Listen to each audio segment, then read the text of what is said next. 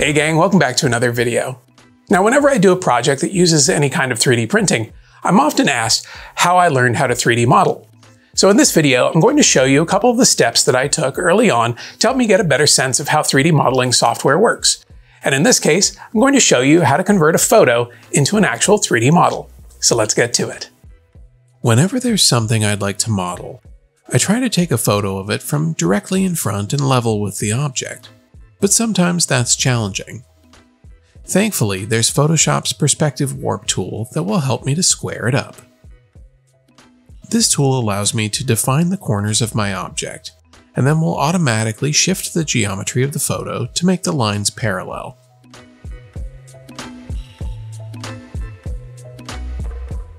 Once it's done the work, I'll take a quick screen grab of the image, and then I can import it into my 3D modeling software. In Fusion 360, I'm able to define a canvas for my model. This lets me drop a partially transparent version of my photo onto the axis of my choosing so that I can basically trace the design over the top of it. But before I get to tracing, I'll need to calibrate my image.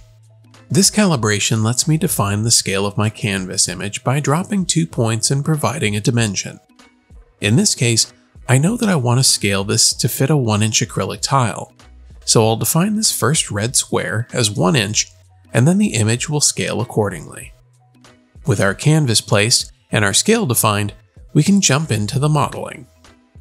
3D modeling for objects like this one are essentially creating a series of sketches made from squares or circles and assigning them a dimension.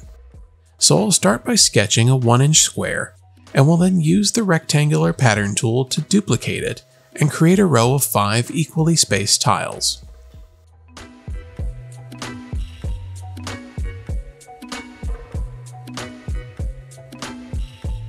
Then I can select them and define a thickness of 1 8 of an inch, which is the height of my acrylic tiles. Because I don't have a profile view of this panel, I'm going to be making some assumptions as to the thickness of each section. But we'll start making a series of boxes and then extruding those boxes to whatever height I think will look best. When working on a part like this, I tend to use a subtractive design approach.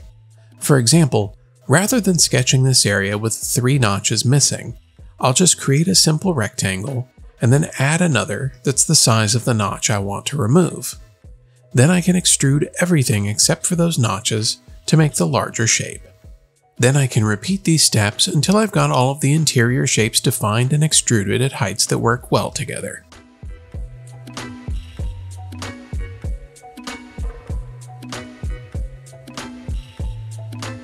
At this point, I realized that I'll need to create a pocket for the 1 inch tiles to sit in.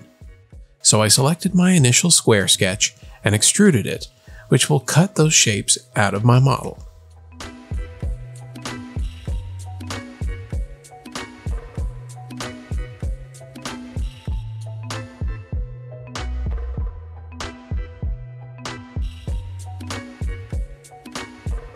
The last bit of the interior section is this top brow.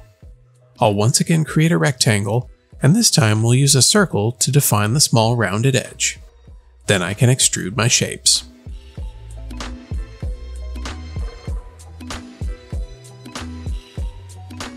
This step gets repeated for the same detail at the bottom, although this time I'll be using those circles to remove part of the design.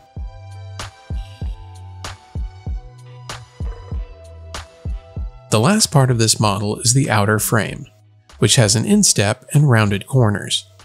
So I'll start by defining the outside dimensions, followed by the extrude function to make it taller than the rest of the model.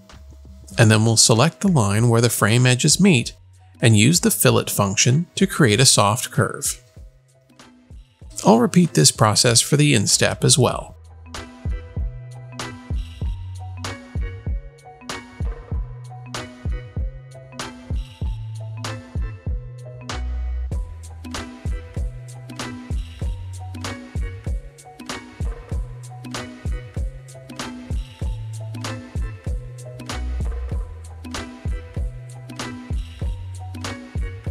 The last thing to add to complete this model are the small round details.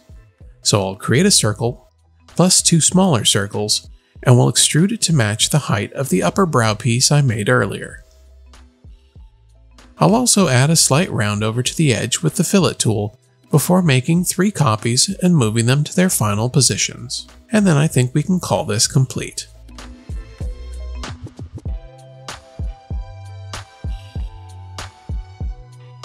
So there you have it. And while I know there's definitely a learning curve to 3D modeling, hopefully this will help to sort of reorient your thinking about how 3D models are made, and maybe it'll help you along your way to learn how to 3D model on your own. Well, that's going to do it for this one. Be sure to like and subscribe if you haven't already, but most importantly, go make something.